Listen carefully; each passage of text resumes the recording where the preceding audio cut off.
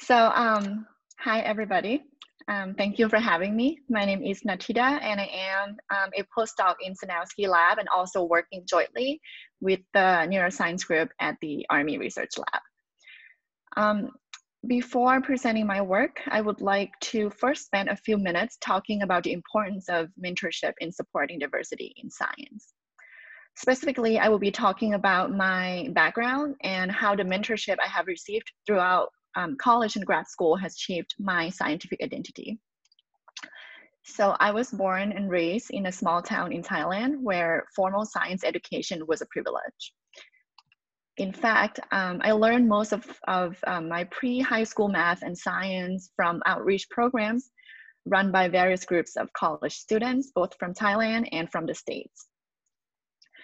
Doing science experiments at school was out of questions. And so without a college degree, my parents decided to um, decided that the, the three of us um, should try to start a small science lab at home. So with help from a big pile of, of used textbooks, my parents and I together learned about um, plant reproductive system, photosynthesis, refraction, and more. And when I was 14, we came across this textbook called Fundamental Neuroscience by Dr. Larry Squire and others it was nothing like anything we had read before. First off, it was all written in English and it had a lot of cool pictures of the brain. Curious to learn more, I would um, spend the next couple of, of, months in search for some neuroscience books that were written in the language I understand, Thai. But I had no luck. Um, that was when I decided I wanted to go to the States and study neuroscience. But first, I needed English. So I did take some English lessons in high school and apply to colleges in the States. My first year at Middlebury College in Vermont was incredibly difficult. I had a hard time understanding um, the lectures and I had to pull an all-nighter just to finish a reading assignment. This made me question if, if I could make it through college, let alone going to grad school. I took several neuroscience classes with Professor Arndt and Professor Root. Um, and I cannot count the number of the number of hours they both spent during office hours to re-explain to me the, the most basic concepts I had missed in class. And throughout college, it was Professor Arndt and Professor Root who reminded me day in and day out that I could do it, that I could one day go to grad school and contribute to the field. Um, at a liberal art college like Middlebury, research experience is um, a rare opportunity. And during my sophomore year, I emailed um, over 50 labs asking if I could volunteer over the summer. Having zero research experience, I was surprised to receive um, the kindest um, response from Dr. John Serences's lab at UC, UCSD.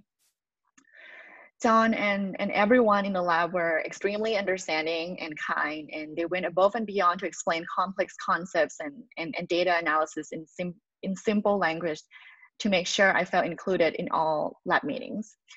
John also gave me an opportunity to co-present my um, to co-present a poster at my very first neuroscience conference. And with um, John's advice and guidance that extended um, years after my internship ended, I joined a neuroscience graduate program at UCSD um, three years later. So at UCSD, I was co-advised by John and also Larry, the author of my very first neuroscience textbook. And throughout grad school, I was also fortunate enough to receive mentorship from many other amazing mentors through graduate fellowship and collaborations. I am also grateful for each and every one of my lab mates who were also very kind, um, patient, and supportive. And together, these experiences have, have shaped my thinking and my scientific identity. So I hope I have convinced you that if it wasn't for the guidance and support from my mentors, I probably wouldn't even think grad school was, was a possibility for me, given my background. And whether you're a grad student, um, a postdoc, or a faculty, there are things you can do to contribute to this, uh, these mentoring efforts. And you can start small. So mentoring can range from spending the, the extra five to 10 minutes re-explaining certain concepts to a first year student in, um, at a lab meeting to uh, a bigger effort like mentoring students through a summer research program And when possible, please consider investing in students that don't have research experience. And um, there are now a number of programs that have been set up to help you do this. For example, the Summer Training Academy for Research Success or STARS program at UCSD, um, or the Colors of the Brain that is run, run by the Kavli Institute of Brain. So having been at both ends of this, um, I can tell you that it is an, um, absolutely rewarding. And these mentoring programs could have a long lasting impact on um, um, student mentees. Okay, so now I would like to present my work, that uh, my current project that I have been working on with Robert Kim and Terry Sejnowski, titled Probabilistic Information Processing in Humans and Recurrent Neural Networks. So um, naturalistic sensory environments are inherently probabilistic and certain stimuli are subsequently encountered more frequently than others. So to, to optimize um, this sensory processing, the brain needs to extract the statistics of, of the environment to form expectation against which incoming sensory signals are compared. And this expectation can be used to then um, fine tune the and adapt the behavioral responses as the animals encounter novel environments. So while certain aspects of probabilistic information processing have been investigated through human psychophysics, neuroimaging, and lesion studies, the circuit mechanisms that underlie this complex cognitive function is not well understood.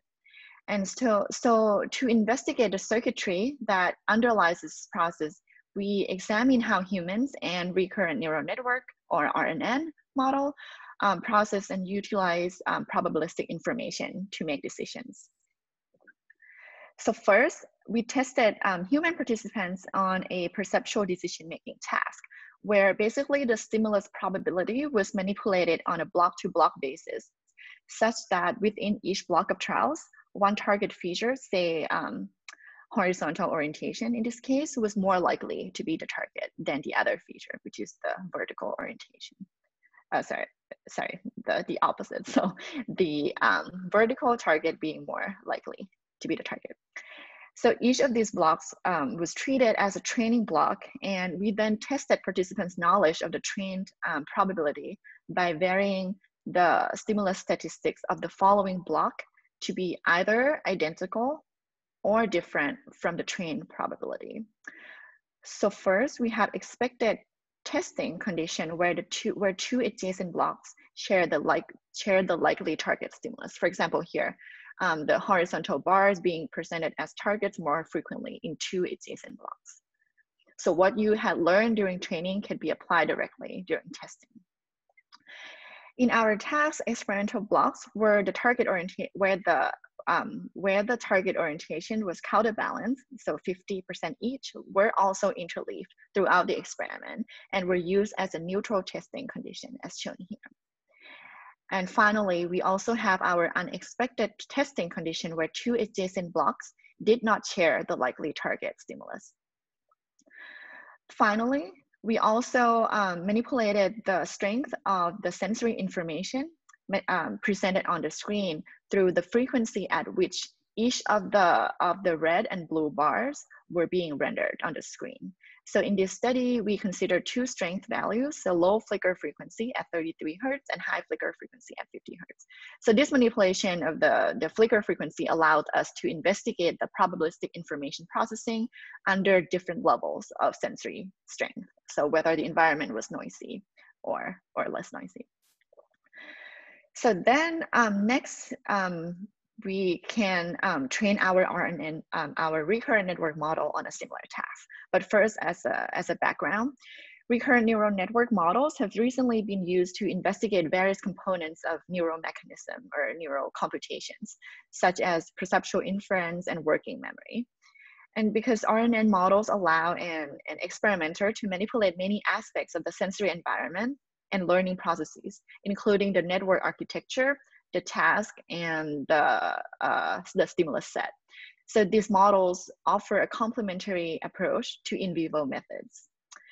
So here we use a, as shown here, a continuous variable um, firing rate um, RNN model consisted of um, N rate units, recurrently, recurrent, recurrently connected to one another. So in order to model more realistic and probabilistic sensory environments, we developed a simple training paradigm that resembled the one used in human studies.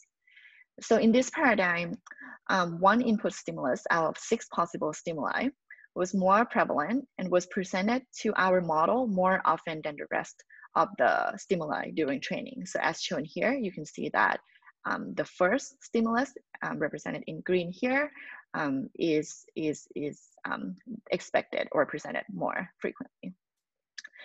And um, more specifically, this expected stimulus was presented in 80% of the training trials, while the other five unexpected stimuli were equally represented, so 4% um, of the time. And um, out of, on each trial, one of the six possible stimuli was presented for 125 milliseconds, and the stimulus signals were modeled as white noise signals with a constant offset value added during the stimulus window as highlighted here in pink. So the offset value was varied to, to model the, the, the coherence or the, which is basically our proxy for the strength of sensory information. It's a little bit tricky to see here, but in, in um, the green line, you can see that the, the offset was added for the green um, um, stimulus. And um, the and in total, we trained 30 um, models of 200 units, where 80% of the units were excit excitatory and 20% were inhibitory units to perform this task. And using this paradigm, we trained a continuous rate uh, model to produce an output signal approaching plus one as shown here when the expected stimulus was shown and zero when an unexpected stimulus was, was um, presented. And the testing conditions were set up in the same manner as in the um, human experiments, where we had um, identical structure for the testing environment and different structure for the, for the testing environment. So we had expected, neutral, and unexpected. And um, the right and the stimulus probability of each of the six stimuli um, um, is illustrated here. So now on to the results. We will first look at the human performance.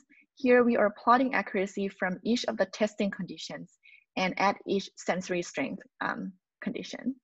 So for human, we found that accuracy was higher in the expected context and in the neutral and unexpected context in both low and high flicker frequency condition. And accuracy was also higher on trials where um, from high compared to um, low sensory strength um, being presented. Now let's look at our um, recurrent network performance. We're going to be looking at their, um, at their performance in the same way as our human data. And we observed a similar task performance trend in our um, recurrent network model. And overall, our model findings are closely aligned with the results from the human behavioral data. So um, now, although the exact circuit mechanisms underlying probabilistic information processing are not known, a recent experimental study revealed the probabilistic revealed that the probabilistic learning could um, lead to a group of neurons in the mouse primary visual cortex to respond more robustly to expected or likely stimuli. So in this, in our study, that would be stimulus one, right? So in order to investigate if such um, subgroup of neurons also exist also exist in our recurrent neural network model. We first classify all the neurons in each trained RNN model based on their firing patterns in response to six stimuli. So for example, if a neuron fired more often when stimulus one, which is the expected stimulus, was was presented, then that neuron was would be assigned to the stimulus one cluster. So using this method, we identify six subgroups of neurons in each recurrent network model. And for each subgroup, we then characterize its connectivity patterns to the rest of the subgroups, right? And so here we are going to be plotting the strength of the pairwise inhibitory and excitatory signals between neuron, neuron subgroups selected for each of the six stimuli represented by, for example, I1 to I6 or E1 to E6. And right, so for and and then we are we will be looking at also the low and the the high sensory strength condition but here we're just going to start with the low sensory strength first. So in this condition the neuron subgroup corresponding to the expected stimulus or stimulus one shown to the left here display a weaker weak within group inhibition than across group inhibition. And um, in addition, the subgroup selective for this expected stimulus, shown on the left of the plot here, also exhibited a stronger within group excitation than a cross group excitation. And here I'm just um, summarizing the connectivity results um, in one in one plot. And next we can look at the high um, sensory strength condition. Um, the, we found that our models exhibited similar network connectivity patterns as observed in the other uh, in the low, um, low sensory strength condition. Therefore, training our recurrent network model using a biased set of stimuli led to emergence of a, of a subgroup of neurons that were more likely to, to stimulate themselves and inhibit other neurons, resulting in enhanced neural responses at baseline. So to summarize, we found that both humans and the recurrent neural network um, model successfully extract information about stimulus probability and integrate this knowledge into their decisions and task strategy in a new environment. Specifically, performance of both humans and the recurrent neural network model varied with the degree to which the stimulus probability of the new environment matched the formed expectation. So in both humans and, and the models, this expectation effect was more prominent when the strength of sensory evidence was low. And these findings um, suggest that both humans and recurrent neural network model place more emphasis on prior expectation when the available sensory information was limited or noisy. Finally, by dissecting the trained or um, recurrent network model, we demonstrate that uh, we demonstrate how um, competitive inhibition and recurrent excitation formed the basis for neurocircuitry optimized to perform probabilistic information processing. And um, by analyzing both human and model data, the, the, uh, our present study proposes an exper experimental, experimentally testable neural circuit mechanism important for decision making. And um, elucidating circuit mechanisms required for this complex decision making um, could um, help better our understanding of, of, of, the, of how such mechanisms are interrupted in, in um, neuro disorders. And with that, um, I would like to end my presentation. Thank you um, for your attention and let me know if you have any questions.